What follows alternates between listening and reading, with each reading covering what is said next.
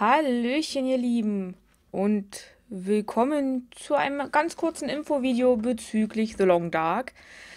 Ich werde die erste Staffel hier beenden. Also, es kommen keine neuen Folgen mehr zur ersten Staffel jetzt. Die ist beendet.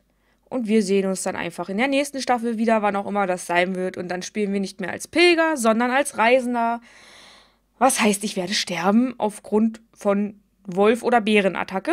Da können wir uns, glaube ich, schon drauf einstellen. Ja, das war auch schon alles, was ich wollte. Viel Spaß heute noch. Ciao.